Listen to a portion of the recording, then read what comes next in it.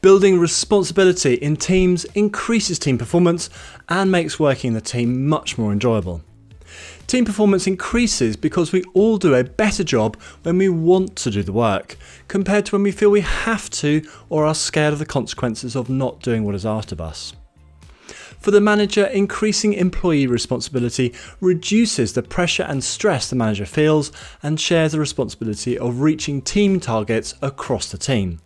This is a great way to increase team performance while making your job easier. Team members gain more autonomy, more skills development like decision making and problem solving, and more interesting roles that will help them progress their careers. For manager and team, what is there not to like?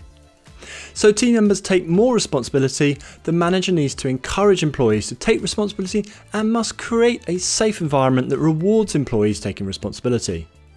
Would you take responsibility as an employee if there weren't clear benefits or upsides to you doing so? I wouldn't.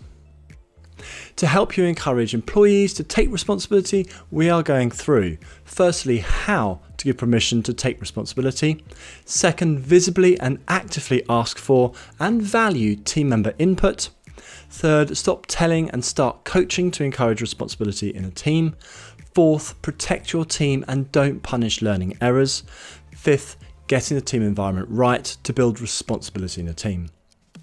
At the end, I share 10 factors to increase team responsibility and accountability, so do stay for this.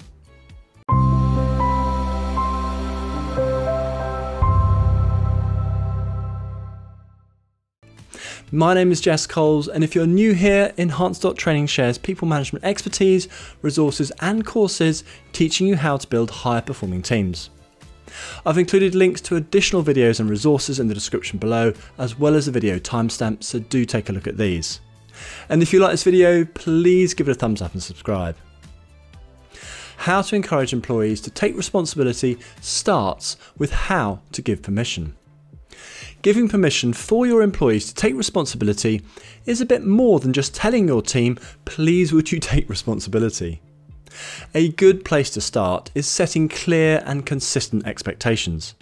You know, tell your team members the goals and set out what you expect them to take responsibility for. You know, an example could be I would like you to collect at least £1 million from our debtors by the end of the month. Can you work out exactly who you're going to speak to, how often, and the other tactics you're going to employ to make this happen? I will make myself available if you need help at any point. To reinforce those expectations, put the targets on the wall, regularly ask about the plan of action to reach the goal, and keep track of results that demonstrate that you are very invested in the goal being reached. Helping effectively when asked is a great way to demonstrate that the goals that you're asking for are a team responsibility too. Another very useful tool is to set out the roles and responsibilities in a formal job specification document. This has several purposes. Firstly, to clearly communicate your expectations, and then secondly, to provide the employee with official permission to take responsibility which protects them from claims of overstepping their authority. Make it a priority to help the responsible employees do the best job they can an employee knowing they have help and support to achieve their tasks and goals makes it much more likely they're willing to take responsibility. The more responsibility and ownership your team members take, the more likely the team performance will increase. Make it easy for team members to take responsibility. Second, visibly and actively ask for and value team member input. What better way to encourage employees to take responsibility than by asking them to contribute to the ideas and solutions that they will implement? Asking employees to contribute and be involved in shaping what they work on creates ownership and responsibility for that work. They help to plan it alongside you, so feel more motivated to ensure that it is successful. Another great way to increase team performance. Invite your employees to help set team goals. Ask team members to help create solutions to current problems and get them involved in planning how to implement the solutions the team has agreed upon. Regularly and publicly ask team members for their opinions and views. Even more importantly, implement the best of their suggestions or ask them to implement their ideas. Putting their solution into action is a great way to demonstrate that you value their input.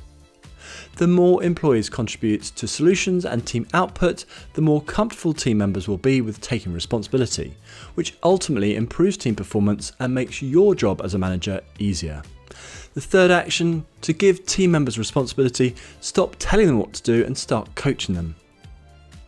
For employees, it is much safer to do what they are told than to think for themselves, take responsibility, and implement a solution that might not work. If they do what they are told, they can always blame you for the failure. This is why many employees ask their manager what to do. You, know, you might get questions like, I'm not sure what to do here, please can you help me? Or, what would you like me to do? Or, I've not done this before, please can you tell me what to do? Or you might even get comments like, it's your job to come up with a solution and tell me what to do, which I've had several times. It is very easy to respond by telling the person what to do based on your experiences with the problems they face. Chances are they already know a couple of solutions that will work. They might even have a better solution than you because they are closer to the problem. If you tell them what to do, then the responsibility for the solution is yours, not theirs. If you respond with questions rather than telling them, i.e., a coaching approach, the responsibility stays with the other person. This is what you want to build their confidence, their decision making skills, and their problem solving skills, which in turn will help increase team performance.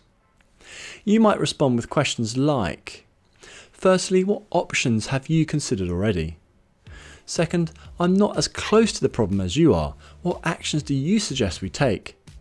Third, what problems have you solved that are like this?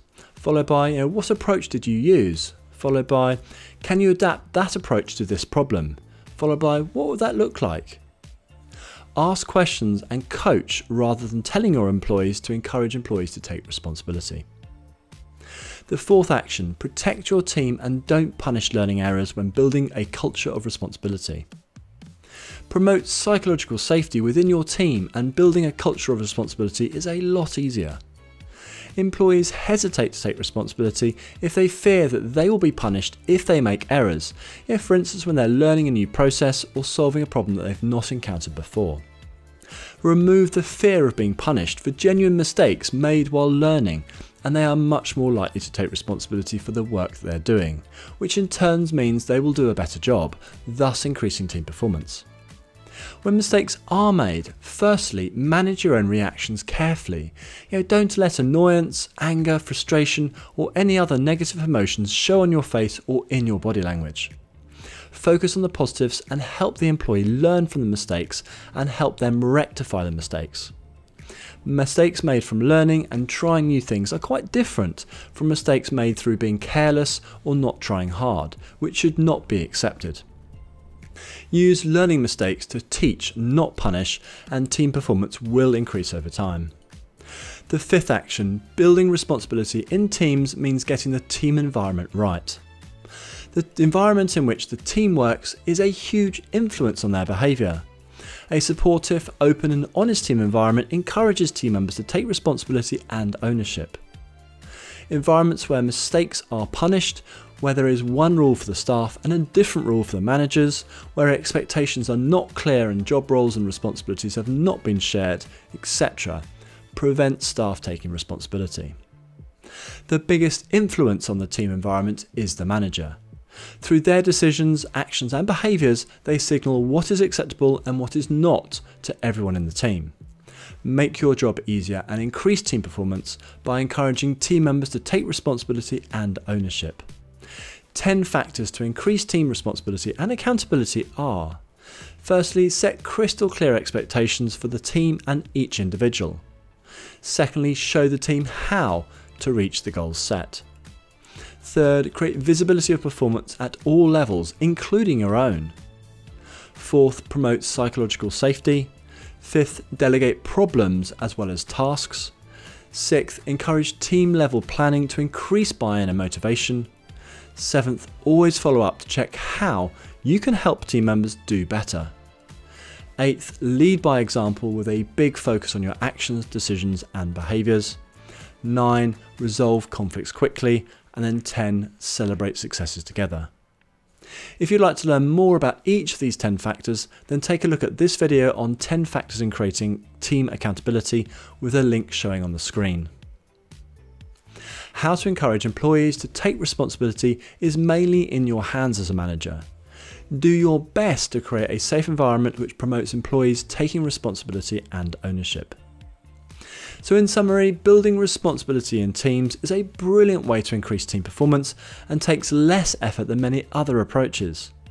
By taking action to make employees more responsible, you are also increasing their motivation and enjoyment of being in the team, and you're helping them develop skills that will speed up their career progress.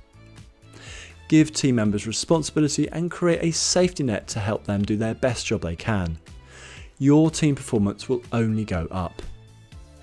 To recap, the five actions for building responsibility in teams are firstly, how to give permission to take responsibility.